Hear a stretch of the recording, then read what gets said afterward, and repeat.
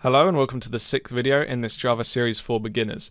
In this tutorial we're going to be looking at loops. Loops is where Java starts becoming really dynamic and we can actually control the code that we're using and we can make it repeat itself and do different things uh, on each iteration of it. So the first thing we're going to be looking at is the while loop and the while loop look, looks like this. You just write the word while and then you have uh, the open normal brackets much like the if statement and then you have the uh, spiky brackets like so. Uh, you can see it looks exactly the same as an if statement, except we've written the word while. Now, the difference between this while, uh, the while loop, and uh, what we were doing with the if statement is, uh, we both of them take uh, the boolean condition inside these brackets here. Except the while loop, what it's going to do, if this condition is true, it's going to run the code inside here, much like the if statement, except it's not just going to run it once, it's going to keep running it over and over again until this condition in here somehow meets uh, false. So each iteration, it's going to check the condition, see if it's still true, and if it's still true, it's going to run it over and over again. It's basically a repeating if statement. Uh, so let's go ahead and write while true in here, and then we're going to say system.out.println.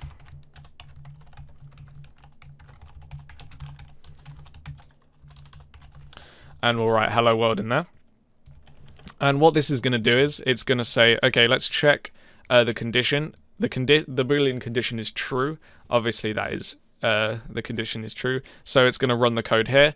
Then it's going to check if the statement's still true. Obviously, it's still true. And this will uh, this true statement here will never become false because this isn't a variable. It's just uh, the literal value of true. So basically what this program is going to do is it's going to infinitely print out uh, hello world to the console. And we can see this if we hit run. You can see the scroll bar here just going uh, further and further down. And this is just going to print out indefinitely until we go ahead and manually hit stop. So obviously that's not really practical in an actual program because usually you want it to stop at some point. You don't want it to just be infinitely running. Uh, so let's do a let's do an example here. Uh, let's make an integer called a, and we're going to set it equal to 0. Now, the condition we're going to make, we're going to say while a is less than 100, so that's our boolean condition, whilst a is less than 100, uh, we're going to print out something. Let's go ahead and print out the value for a here. So a is obviously less than 100, uh, so if we print this out, we're just going to see 0 printed out infinitely, much like the hello world thing. That's because this a variable is never changing. Now that we've introduced a variable into the condition of the while loop, we can actually change the while loop and uh, what it does. So what we'll do is we'll print out the value of a each time, and then we're going to add 1 to it. Uh, and I haven't introduced this uh, this concept yet. So to add numbers, to increment a number of the same amount, you can say a is equal to a plus 1, for example and that's perfectly valid. We're saying uh, set the variable a equal to itself, just plus 1, and that basically increments it 1. But there's an easier way to do it than that. Uh, we can simply just put two plus signs and then uh, finish off with a semicolon. This basically just says add 1 to a. That's uh, the simple way of doing it. So now this while loop has actually become uh, more dynamic because each iteration we're going to add one to a, and uh, each time it's going to check if a is equal to 100. So this loop is actually going to run 100 times until finally, uh, when we're on the when a is equal to 99, we're going to add one to 100. Then 100 isn't less than 100, which means that uh, the loop will have finished. Let's go ahead and add a System. out. system.out.println down here and then we'll just write loop finished. So when we hit run here, uh, it did that pretty quickly, obviously. Uh, so we can see in the console we've printed out 0, 1, 2, 3, 4, etc. And we've printed this out all the way up to 99, and then the loop finishes here. So you can see how we can make uh, our programs uh, dynamic using these uh, loops. You can make it a bigger number, uh, it'll print out obviously up to that amount there, include all the numbers in between.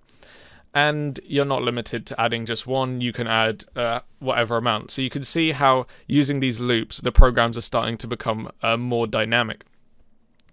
Uh, so there's actually um, uh, an easier way to do this thing we've done here. For example, while a number condition is met and then add one or add two or add three each time and then do something. There's actually an easier way to do that.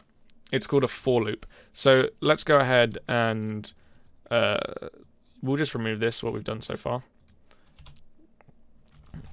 So we'll keep this variable a here, a equal to zero. Actually, uh, we'll delete that a variable because what we're going to do is we're going to do we're going to set up the for loop. The for loop looks like so. We write for with the brackets and then do the spike brackets like that. And then this, uh, the difference of the for loop is it doesn't actually take a boolean value in here. The for loop needs to take uh, three parameters, each separated by semicolons. So the first parameter it's going to take is either an existing variable uh, and an, an initial value, or we can initialize a variable uh, inside the for loop. So we can make an integer called a and set it equal to 0. Then we'll put a semicolon. That's the first condition we need to set up. So the first condition inside the for loop is setting up a variable and making it equal to something. Uh, the second condition inside a for loop is setting um, the condition for the loop to run. For example, uh, in that while loop just now, we said whilst a is less than uh, 100, and then we did a is less than 1,000. We can go ahead and uh, write whilst a is less than 100, for example and then another semicolon.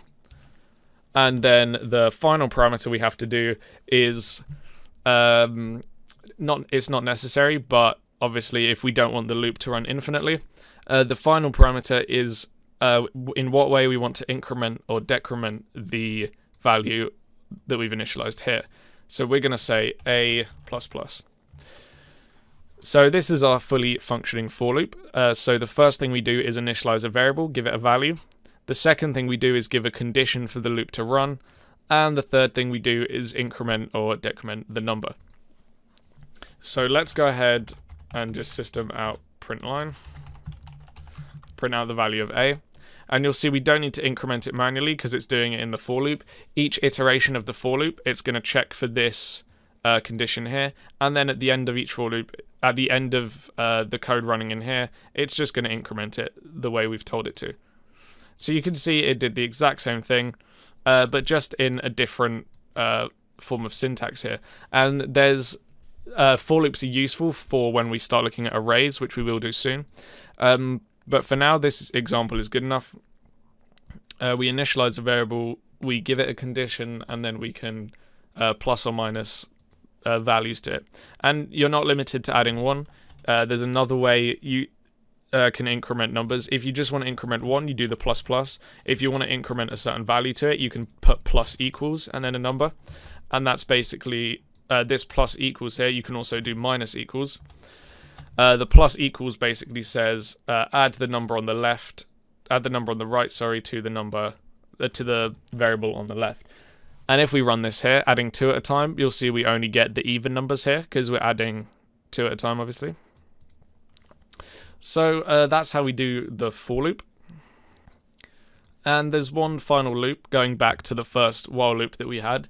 Um, there's one final loop I want to show you, and that is the do while loop. And the do while loop is slightly different from the while loop. Uh, the do while loop basically makes sure the code inside the while loop is run at least once, regardless of whether the condition is met or not.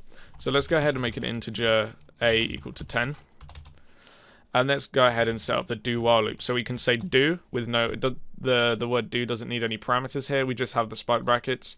But then at the end of the spike brackets here, we do need to set up the while condition. So after this uh, ending spike bracket, we can write while and then give a condition. So we can say while a is less than 10 and then we can put a semicolon.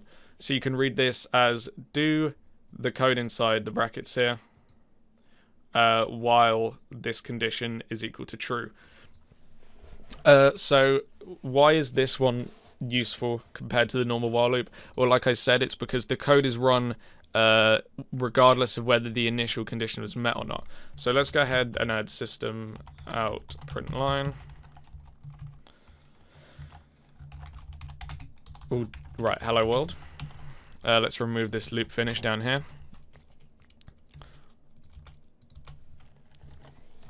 So as you can see, if this was a normal while loop, uh, the condition a is less than 10 uh, would be false because a is equal to 10.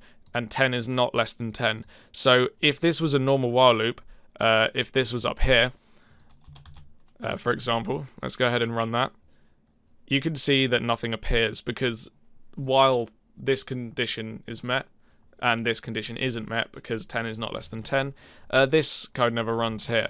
So if we just move that back down there, uh, the do part of the loop basically ensures this code is run at least once before checking this. It basically means the code is run and then the condition is checked, as opposed to the condition checked and then the code is run. So if we run this, we'll see we get the hello world printed out. Uh, so we say do the hello world statement here, and now check if this statement's true, and then it says, okay, this condition isn't met, we're not going to do the loop again, and then we move to the code down here. So that is the difference between the while loop and the do while loop, and also the for loop.